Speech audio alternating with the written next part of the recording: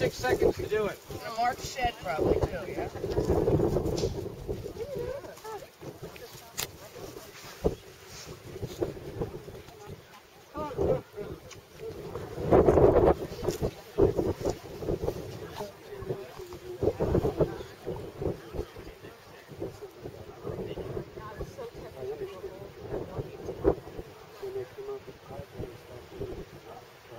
They do.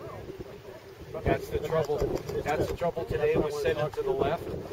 Yeah, because if you send to the left, a lot of times what it does is, unless you can get all the way behind them, they're going to pull over here.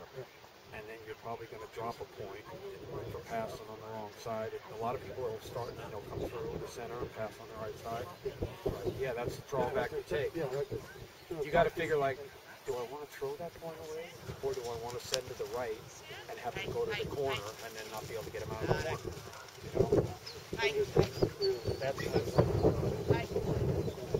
yeah. Well, it's like a, it's pretty, uh, it's pretty, yeah. Okay.